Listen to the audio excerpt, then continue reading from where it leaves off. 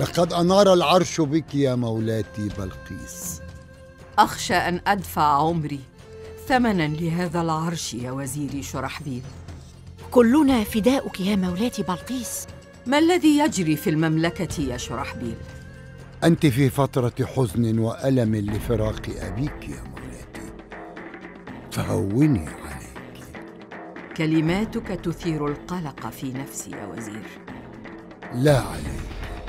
سوف يستديم لك الملك. فاسجدي لآلهتك واطلبي منها العون.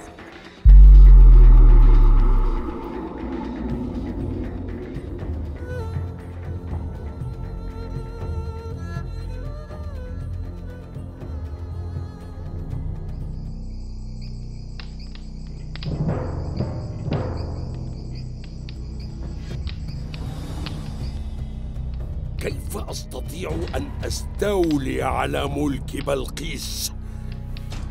امرأة تحكم سبأ. كيف؟ هل غابت الرجال من الدنيا لتحكم امرأة؟